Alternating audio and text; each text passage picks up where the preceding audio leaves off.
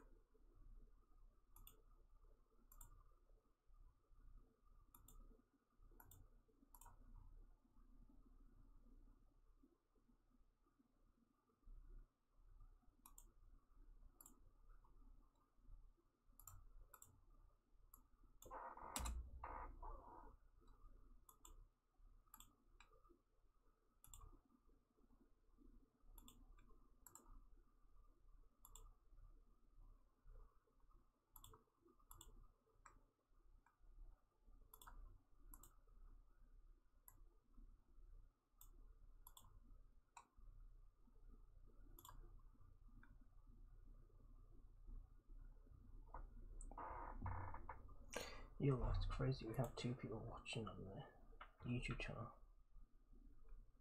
I never stream on anymore. You guys there?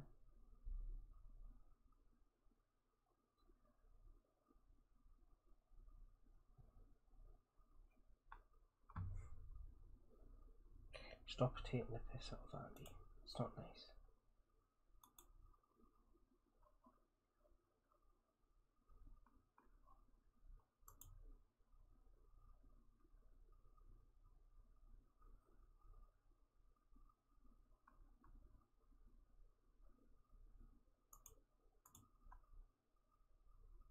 Anything else we can